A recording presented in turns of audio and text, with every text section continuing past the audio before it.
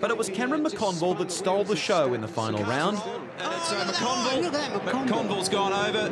One of the problems into turn one down there is the road narrows up on the left-hand side. McConville's being caught out. Neil, talk us through the Shell Helix replay. Well, the, well, it looks like Larkham made contact with McConville after being squeezed by one of the Holden Young Lions cars. Rodney Forbes was there as well. It looked to me like it was three or four cars into one don't go. Here's another angle on the Shell Helix replay. Yeah, Forbes down the inside, the EA Sports car there, and Larkham making contact with McConville. Hard to know who was who in the zoo there. Safety car is on the circuit. The SC signs being shown. Yellow flags will be waving. There's Cameron McConville. What an incredible recovery. You will take part in the afternoon races. Yeah, we'll race again uh, at Sandown, but unbelievable to think we could.